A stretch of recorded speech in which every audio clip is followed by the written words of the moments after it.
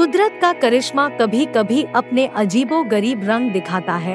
ऐसा ही एक अजीब किस्सा, आस्था और धर्म की नगरी प्रयागराज के करेली थाना क्षेत्र के जलालपुर का है, जहाँ पर सर से जुड़े हुए दो मुँह वाले गाय के बच्चे का जन्म हुआ है, जिसके बाद आसपास के गाँव के लोगों द्वारा उसे भगवान का अवतार मानकर पूजा अर्चना करना शुरू कर दिया गया है।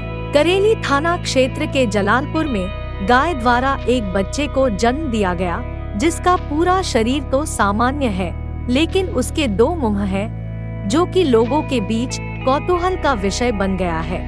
दूर दूर से लोग बछड़े को देखने आ रहे हैं एवं कामधेनु गाय माता का अवतार मानकर पूजा अर्चना कर रहे हैं। जलालपुर निवासी मानिकचंद निषाद के घर हुए इस अद्भुत घटना से लोग आश्चर्यचकित हो उठे।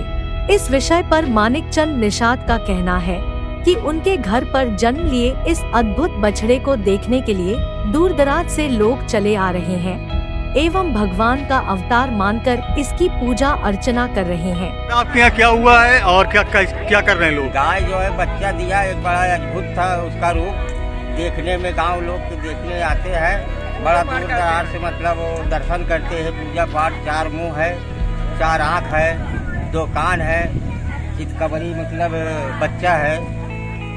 और यहाँ पे गाँव बड़ा मतलब सकून खुशहाल मनाया गया कि यार ये क्या हुआ क्या नहीं कैसा इसे लोग भगवान का रूप मान के पूजा कर रहे हैं। हाँ उसे भगवान के रूप मानकर उसे जो है पूजा पाठ कर रहे हैं। फूल पान जो है अच्छा चावल सब छिड़क मार रहे हैं। पैसा भी जो कोई पाई पैसा चढ़ाने वाला है चल दे रहा है। अपना नाम बता दें। मानिक चंद निषाद। गौरतलब हो कि यह कोई पहली घटना नहीं है कि इस प्रकार के अद्भुत जीवों या मनुष्य के बच्चों का जन्म हुआ हो। इससे पहले भी कई बार इस तरह की घटनाओं को देखा गया है, जहाँ पर छोटे से बालक की, हनुमान के जैसी पूंछ।